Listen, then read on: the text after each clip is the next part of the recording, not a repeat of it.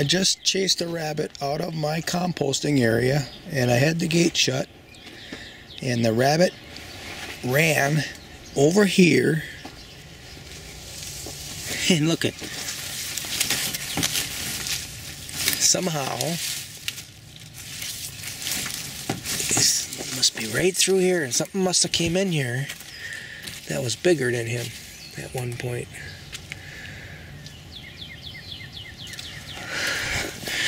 well I'm gonna have to do something here that's gonna shut this off forever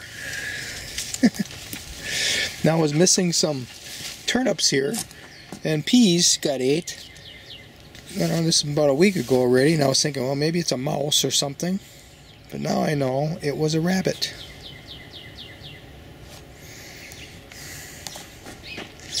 Eh, the critters are hungry. They want to eat. Can't blame them. I just have to improve my management skills. Here's a pocket garden in the back with all the radishes. You can see the white white radish in the background there. Let's see.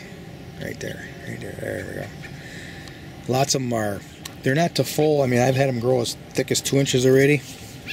So they're not at full growth yet. But if I have to, I can pull them all before they eat them. Can see one in there that's really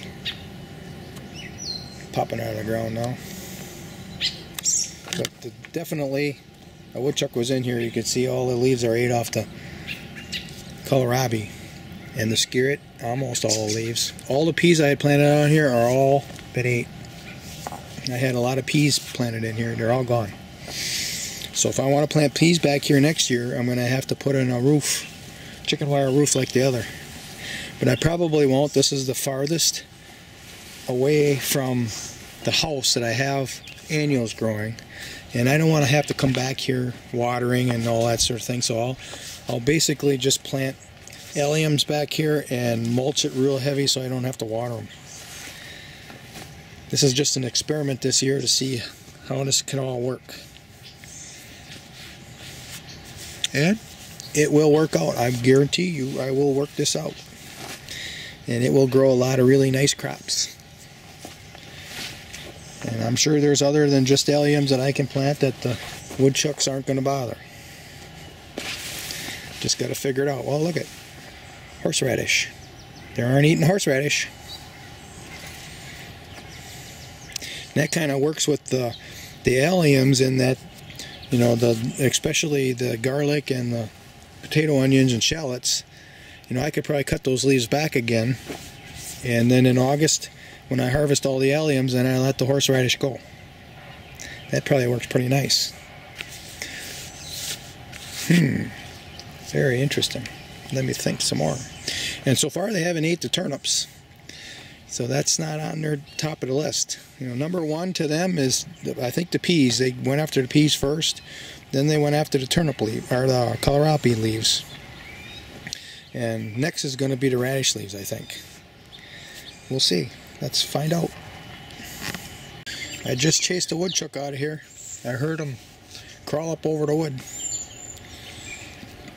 So I harvested the one kohlrabi that was here and then this one here is probably what they were after and also this this is a skirret but this kohlrabi has a little cage around it it's going to be hard for him to get in there and eat the bulb so we'll let it go for a little while see what happens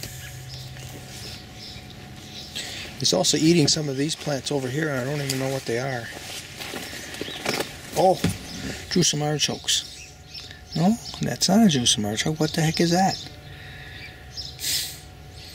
I don't know. I'm not even sure what this is. I think I planted it. it might be chamomile. I thought it was maybe basil, but it's not basil, is it?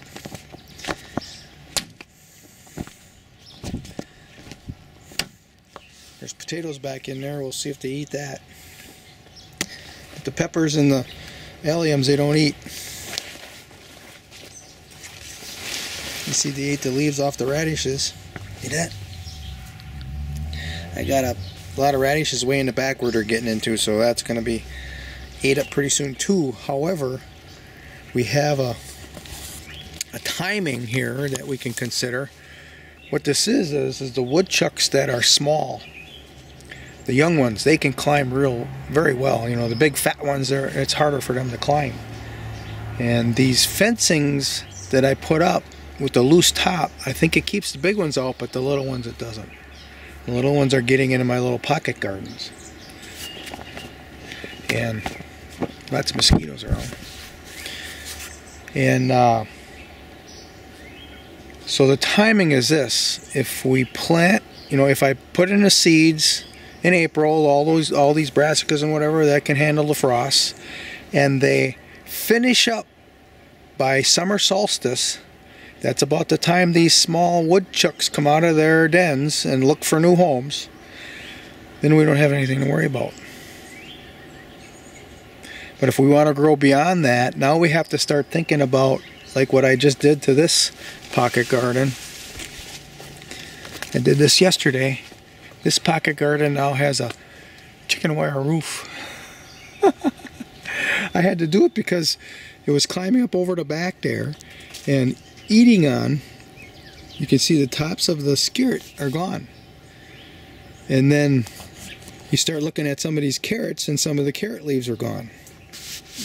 I noticed that yesterday morning and I thought, well, this one's about to get totally ate to nothing unless I do something now. And I did.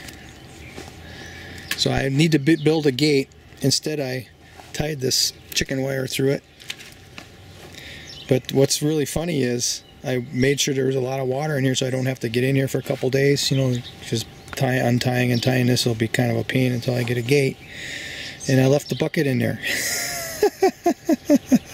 but that kind of works out because when I'm ready to water it again, then I'll unfasten the this chicken wire and, and get it and use it. So this is what it takes. The idea is how can we get along with all this wildlife without having to kill everything all the time? That's the idea. Now if you're really hungry and you need protein, you know, plant a garden and you'll have protein coming around. No problem. But if you don't need protein and you don't need to kill them, then let's figure out how to do this to preserve them.